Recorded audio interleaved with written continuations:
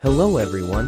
Today, I will talk to you about the process of making a cake. Firstly, the ingredients are mixed in a bowl.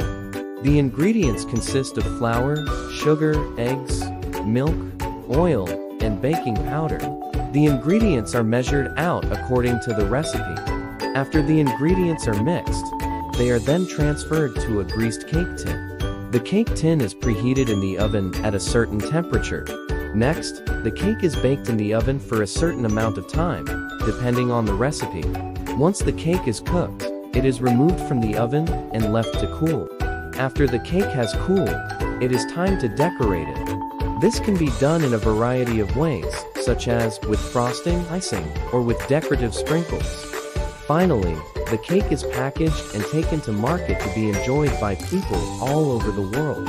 In conclusion, making a cake involves a number of steps, including measuring out the ingredients, mixing them, greasing a cake tin, baking the cake in the oven, cooling it, decorating it, and packaging it.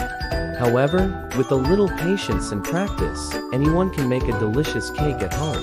Thank you for listening.